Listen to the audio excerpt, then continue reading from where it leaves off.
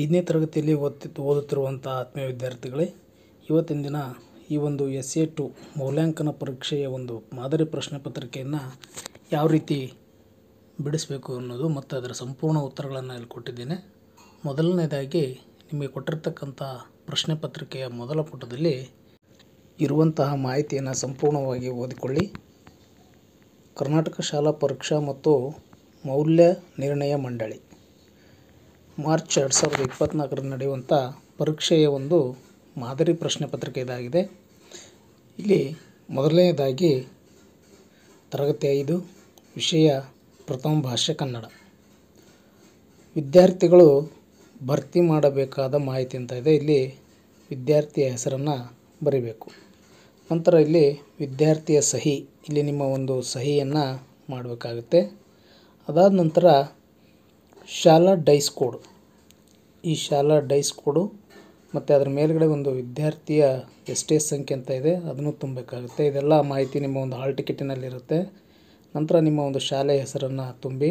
S, ಅದಾದ ನಂತರ ನಿಮ್ಮ ಶಾಲೆ ಯಾವ ಒಂದು ಕ್ಲಸ್ಟರ್ನಲ್ಲಿ ಬರುತ್ತೆ? C R C R C ಕೇಂದ್ರ. ಆ ಒಂದು ಊರಿನ ಹೆಸರನ್ನು ಬರೀಬೇಕು. ನಂತರ ಬ್ಲ್ಯಾಕ್ ಅಂತ ಇದೆಯಲ್ಲ ಇಲ್ಲಿ, ನಿಮ್ಮ ಒಂದು ತಾಲೂಕಿನ ಹೆಸರನ್ನು ಬರಿಬೇಕಾಗುತ್ತೆ. ನಂತರ ನಿಮ್ಮ ಒಂದು ಜಿಲ್ಲೆಯ ಒಂದು ಹೆಸರನ್ನು ಈ ಒಂದು ಕಾಲಮಲ್ಲಿ ಬರೀಬೇಕಾಗುತ್ತೆ. ಅದಾದ ನಂತರ ಶಾಲೆಯ ವಿಧ ಅಂತ ಇದೆ. ನಿಮ್ಮ ಒಂದು ಶಾಲೆ ಸರ್ಕಾರಿ ಶಾಲೆನೋ ಅಥವಾ ಅನುದಾನಿತ ಶಾಲೆ ಅಥವಾ ಅನುದಾನ ರಹಿತ ಶಾಲೆ, ಈ ಮೂರರಲ್ಲಿ ನಿಮ್ಮ ಒಂದು ಶಾಲೆ ಯಾವುದು ಬರುತ್ತೆ, ಅದಕ್ಕೆ ಆ ಒಂದು ಬಾಕ್ಸ್ನಲ್ಲಿ ರೈಟ್ ಮಾರ್ಕನ್ನು ಹಾಕಬೇಕಾಗುತ್ತೆ. ನಂತರ ಕೊಠಡಿ ಮೇಲ್ವಿಚಾರಕರು ಆ ಒಂದು ಸಹಿಯನ್ನು ಈ ಜಾಗದಲ್ಲಿ ಮಾಡ್ತಾರೆ. ಇಷ್ಟೇ ನಿಮ್ಮ ಒಂದು ಕೆಲಸ. ನಂತರ ಮುಂದಿನದನ್ನು ಈ ಮೌಲ್ಯಮಾಪನ ಸಮಯದಲ್ಲಿ ಶಿಕ್ಷಕರು ಈ ಉಳಿದಂಥ ಮಾಹಿತಿಯನ್ನು ಭರ್ತಿ ಮಾಡ್ತಾರೆ. ನಂತರ ಈ ಒಂದು ನೀವು ಗಳಿಸಿರ್ತಕ್ಕಂಥ ಅಂಕಗಳನ್ನು ಇಲ್ಲಿ ಬರೆದು ವ್ಯಾಲ್ಯೂಯೇಷನ್ ಮೌಲ್ಯಮಾಪನ ಮಾಡುವಂಥ ಸಮಯದಲ್ಲಿ ಬರೆದು ಮೌಲ್ಯಮಾಪಕರು ಈ ಒಂದು ಕಾಲಮಲ್ಲಿ ಸಹಿ ಮಾಡ್ತಾರೆ. ಇದು ನಿಮಗೆ ಅನ್ವಯಿಸುವುದಿಲ್ಲ. ನಂತರ ಪುಟವನ್ನು ಹೊಳಿಸಿ. ಈಗ ಪ್ರಶ್ನೆಗಳನ್ನು ಬಿಡಿಸ್ತಾ ಹೋಗಬೇಕಾಗುತ್ತೆ